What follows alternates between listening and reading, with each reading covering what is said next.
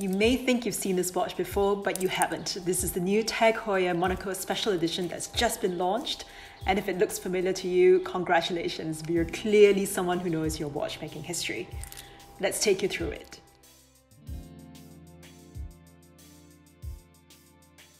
Hello, WorldTempus family, and thanks for joining us for another session with the WorldTempus Showcase. If you know anything about watches and pop culture, you'll know that the Heuer Monaco chronograph stampeded into silver screen fame when Steve McQueen wore it in his 1971 film Le Mans.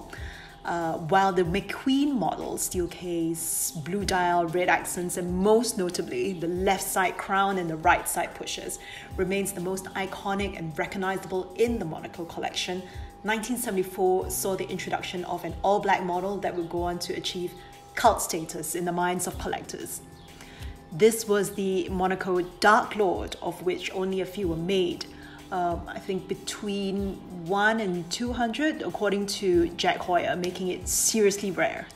Uh, if you find one in good condition at a reasonable price, either thank your lucky stars or do a background check on the guy who's trying to sell it to you. Uh, the Monaco Dark Lord was the first watches to experiment with PVD coatings. So it was really a pioneer in its field.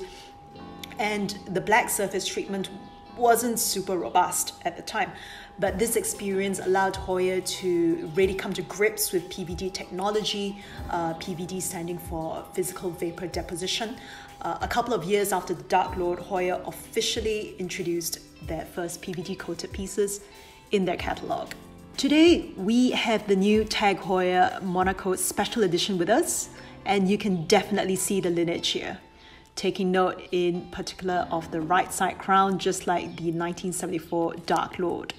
The case in titanium is coated with DLC, which stands for diamond like carbon, meaning it is formed of carbon atoms in a way that makes it very hard and resistant, like diamond, but without the brittleness or regular crystalline structure that you see in gem quality diamond. Now, people tend to think that DLC is superior to PVD without realizing that DLC is a material and PVD is a technique. DLC is actually applied using a form of PVD, so it doesn't really make any sense to say that one is better or worse than the other. That's like saying, like, potatoes are better than boiling. One's an ingredient and the other one's a cooking method. There's literally nothing to compare. I want to look a little closer at the dial where you have a number of interesting features. My favorite being the texture at the outer edges.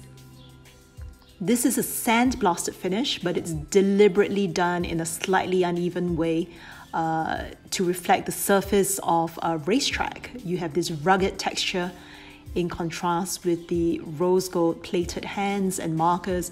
It's a great parallel for how the Formula One Grand Prix in Monaco is this mix of high octane, high risk sporting action in an incredibly glamorous and luxurious environment. In terms of indications, we have, of course, the hours and minutes, and at 6 o'clock, there we have the small seconds indication with a little window for the date. All the chronograph hands are in red, so we have the central chronograph seconds, 30 minute totalizer at 3 o'clock, and the hour totalizer over on this side. We've had a couple of throwbacks to the Monaco Dark Lord recently, in recent years. Um, there was the collaboration between Tag Heuer and Bamford Watch Department in 2018 uh, there was last year's only watch Carbon Monaco, but those were in forged carbon fiber and they don't really have the same kind of look. Uh, now, in the early days of Bamford Watch Department, George Bamford first made his work known by his extensive use of black PVD coatings, and you can find examples of Tag Heuer Monaco watches he did with black PVD treatment, though you can't really just go into a Tag Heuer boutique and buy one of those. Onto the movement. Inside this watch, we have the manufacturer chronograph caliber Heuer 02, which, as you can see, is an automatic winding movement from the great little unidirectional rotor over here. One of the traditional prestige marks of a chronograph is the use of a column wheel to control the chronograph status. And I want to point it out right here. It's a bit small, but we can zoom in no problem. Now I'm just going to point it out as well.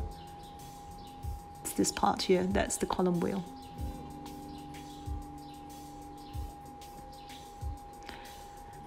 And you'll see that when I hit the chronograph start stop pusher, the column wheel rotates to switch between different chronograph operations. Finally, I want to talk a little about how it fits on the wrist. The thing I really like about Tag straps is how adjustable they are. Uh, you don't have the conventional buckle with the pin that you lock in place with punched holes. This is more of a sliding system that you can calibrate very precisely to fit your wrist. It goes in, you pull it out. This one's still a bit too big for me, but that's just a matter of getting the smallest strap size. The watch is available immediately at all Tag Heuer boutiques and retails at the cost of 8,000 Swiss francs. Uh, and there you have it, the new Tag Heuer Monaco Special Edition presented on the occasion of the 2022 Monaco Formula One Grand Prix. Thanks for being with us today. Don't forget to like this video and subscribe to our channel uh, if you'd like to see more content like this. And I'll see you all again really soon. Bye.